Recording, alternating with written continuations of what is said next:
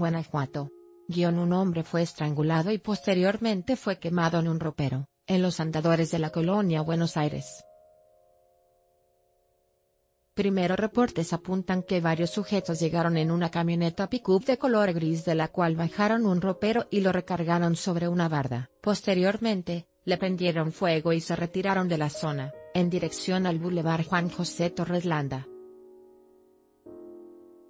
Los habitantes de la zona, se alarmaron por el fuego y acudieron a apagarlo, pero al hacerlo, descubrieron que en el interior, estaba el cuerpo de una persona sin vida. Paramédicos de bomberos, acudieron al lugar y certificaron el deceso del hombre.